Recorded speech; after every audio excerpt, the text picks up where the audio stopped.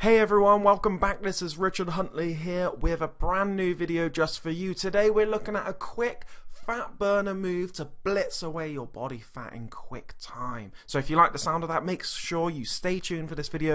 I'm going to be giving you jam-packed full of content and value today. The move for today, this is a quick fat burner for you to try. The sit up to two punches cross. Here's why it's good. Here's why I like doing these. I've been doing these for years too.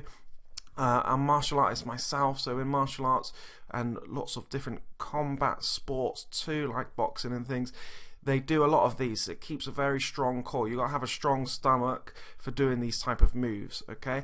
Uh, people, some people suffer with the back pain a little bit, or maybe neck. That's because they're tensed a lot of the time. But I would say do what you can. If you can do these, give them a go. Here's what's good about it: works the abs, hits the obliques. That's why I'm giving it a little twist in there as well, guys. With the punches, when you're doing the punches, you see one to two crossways that's going to hit the side on the side of the abs we have the thing called obliques and this is a great core muscle. So uh, next up increase the tempo. So if you want a bit more difficulty go faster. I'm showing it pretty slow here just so you can clearly see what's going on.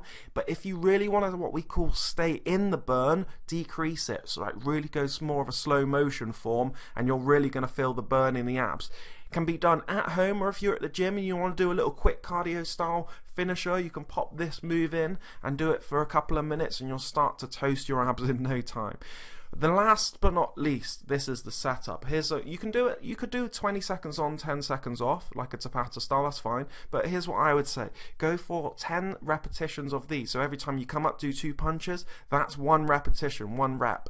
You're going to go 10 reps first of all. You're going to break for about 20 seconds, or maybe stand up and, and do a bit of shadow sparring, or anything you want to do. A little bit of cardio, things like jumping jacks for about 10. That's going to give you a break on your abs. Go back down and start pumping out nine of these. Once you do nine, you stand back up, do your little bit of cardio move or have a break, then back down to eight. So you're going to go 10, 9, 8, 7, 6, 5, 4, 3, 2, 1. Before you know it, your abs by the end of this will be toasted, but you'll start to feel like they're really working, especially when with a good diet as well. It brings down the levels of body fat around the stomach area, and then your abs will start to appear.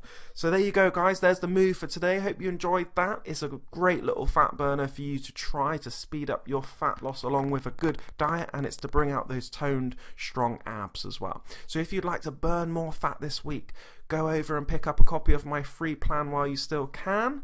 And uh, please make sure you like my video, share with your family and friends, and subscribe to my YouTube channel. Can't wait to see you guys in the next video. Have an amazing day.